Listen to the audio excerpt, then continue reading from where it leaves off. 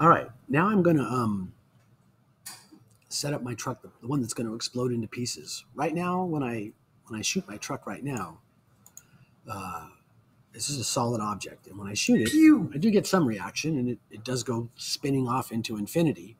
Um, but what I really want to have happen is I want it to break into pieces and the pieces to scatter and fall on the ground.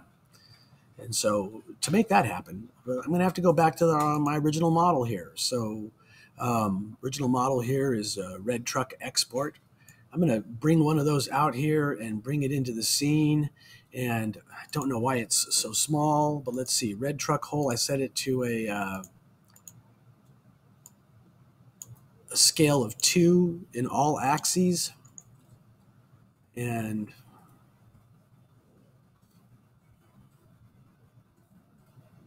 it's going to have to be bigger than that.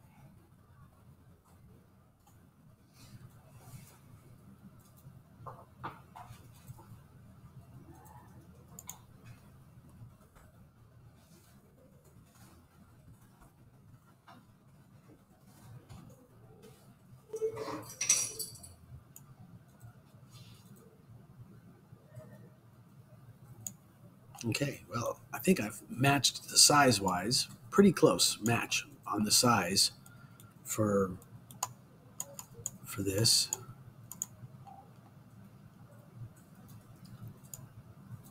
That up. I'm looking at it from the side. Just a nice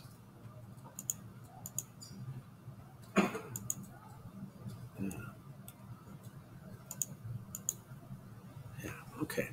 So my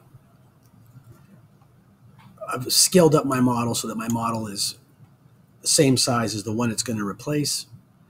And um, I have to do a, lot to this thing. Um, I, I'm going to select all of the objects that are inside of it. Oh, and before I do all that,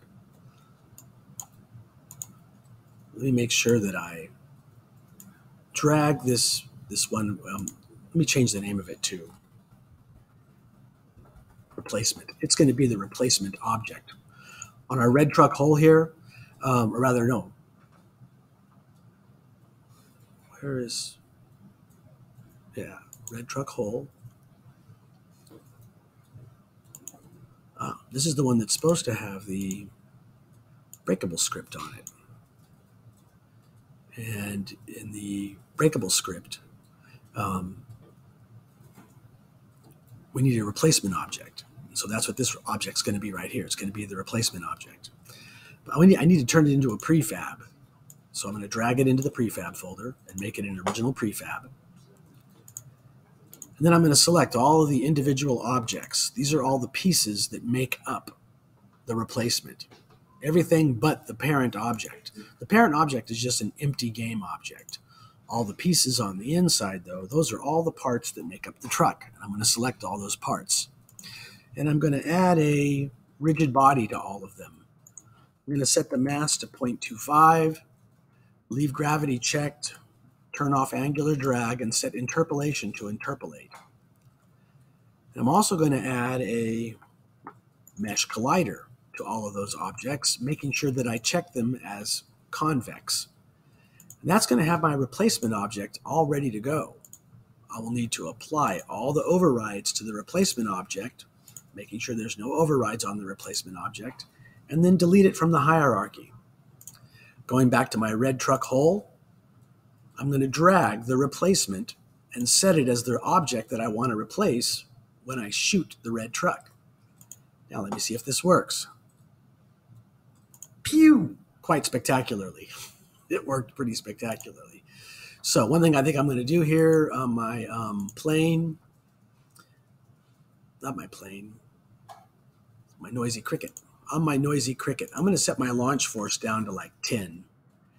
And on the red truck hole, I'm going to set the collision multiplier to like 25. Just bring those numbers down significantly. I don't want quite an explosive explosion. Pew!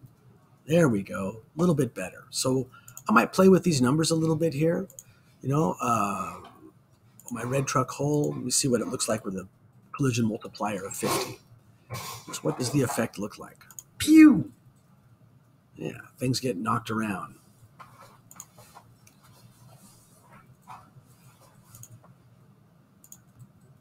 Let me try launch force of 20. All these physics Pew! reactions cause interesting stuff to happen. Yeah, pretty happy with that.